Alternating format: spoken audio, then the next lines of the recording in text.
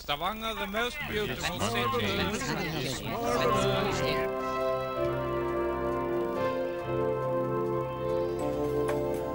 Ja, riktig god søndag.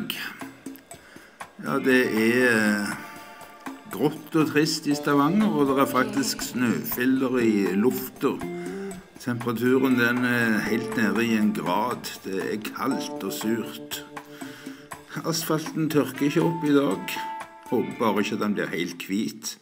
Nei, har en eh, best mulig dag i eh, Stavanger.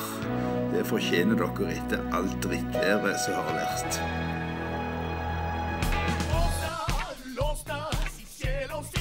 Altså Nå har vi jo kommet i en sånn situasjon at nå må jo noe gjøres.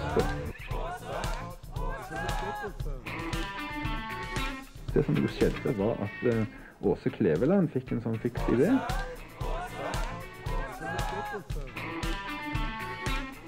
At nå skal det kun være én lokal-TV i hver region. Det er hedenskap.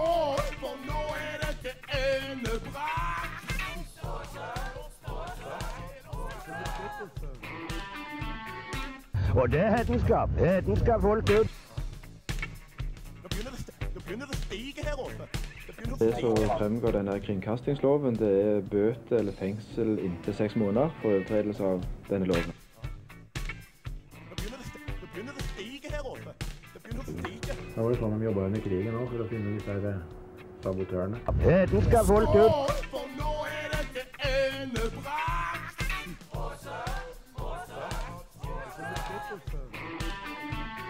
If you don't have any art, you're pretty much lost.